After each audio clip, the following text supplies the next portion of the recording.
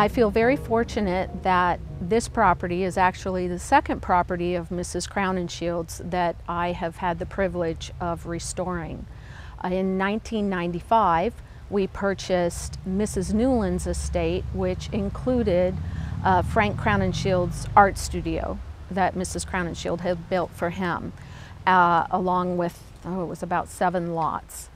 And um, ironically, I was also involved in the island school and the very first organizational meeting to explore whether or not we thought we could get another school on the island was in the living room of the um, art studio. I feel like I've had a long connection with Mrs. Crowninshield and I've been very interested since we purchased that property in the history of the DuPonts and Crowninshields and how they came to be on the island.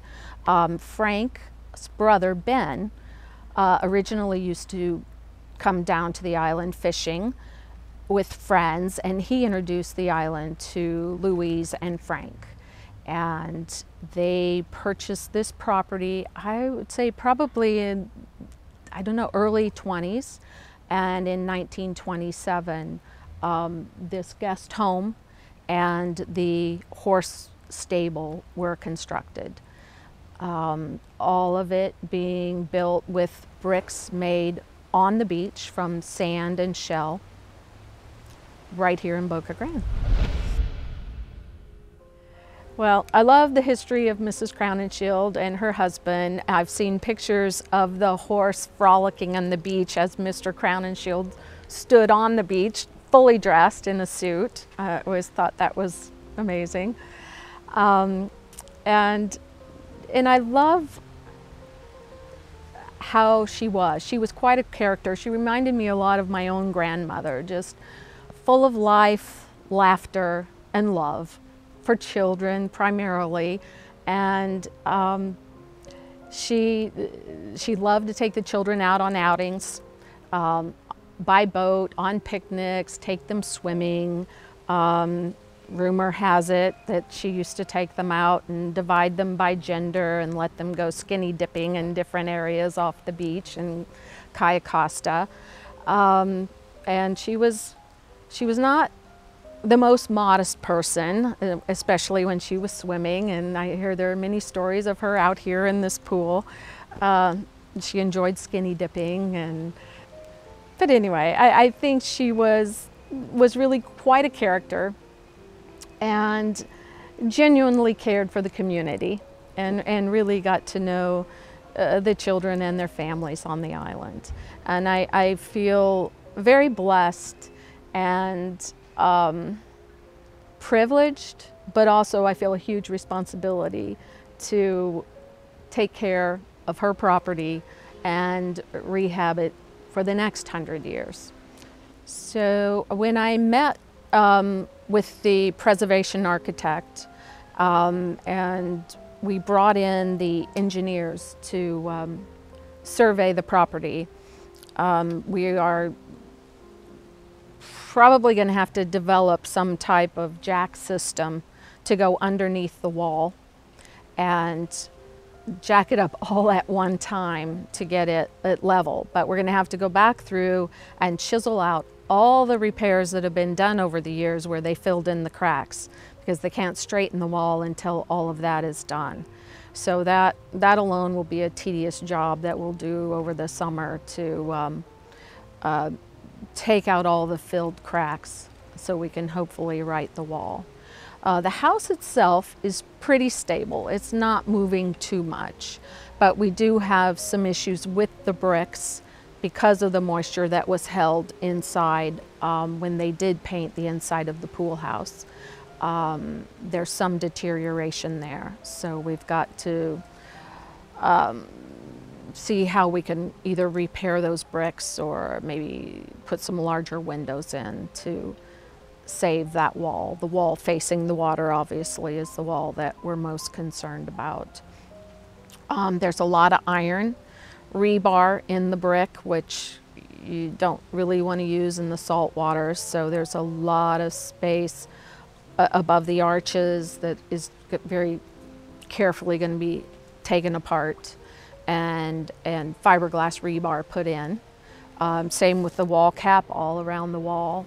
Um, we fortunately now can either cut coral stone or we also have uh, another stonemason that thinks they might be able to duplicate this in the same manner that it was made.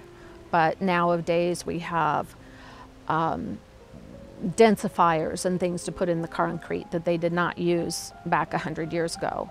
Um, however, these bricks have been here for a hundred years, so I, I think they did something right. Um, they're, they're still holding up quite well.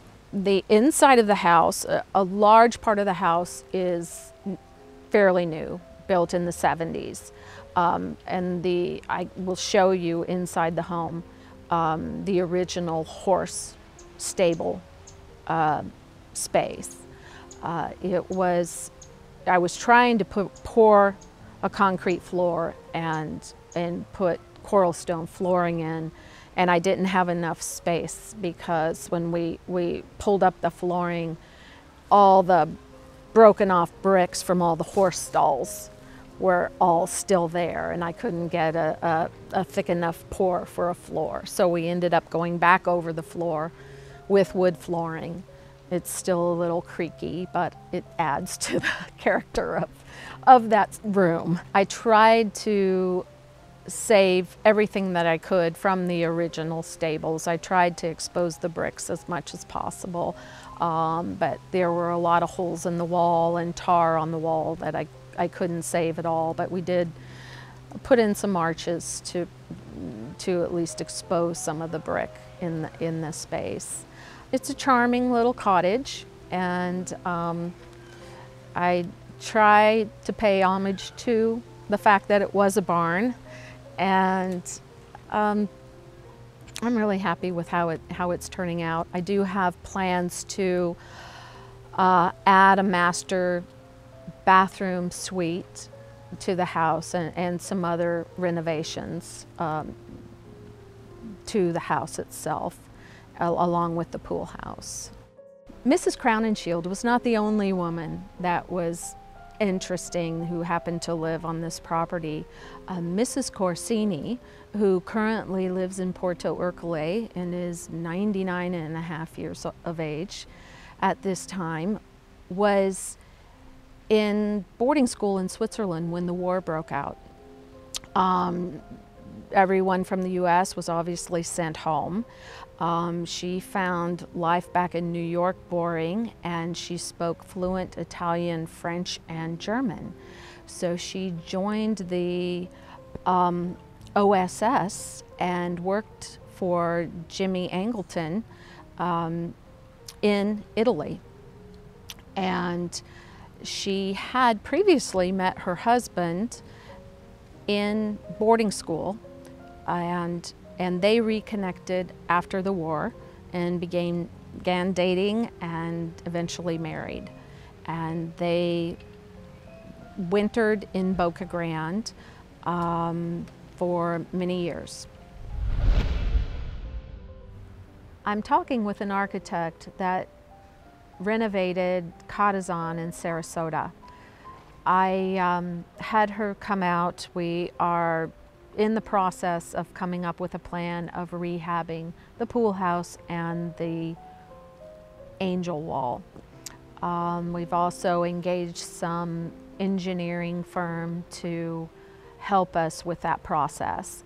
We're um, looking at how we best restore the bricks um, as well as add some stability um, to the building um, in the event of a hurricane that it could withstand a little more than it can at the time.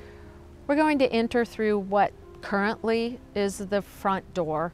I'm not quite sure where I'm going to end up with the, the front entrance, but um, this is the current entrance.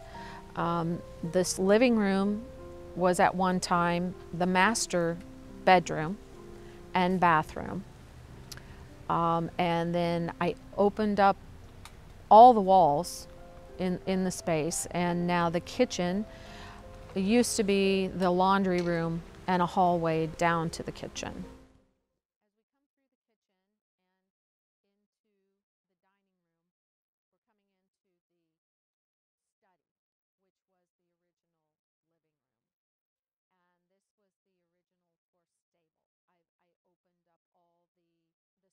Above so I could expose some of the brick. Uh, This room I've tried to preserve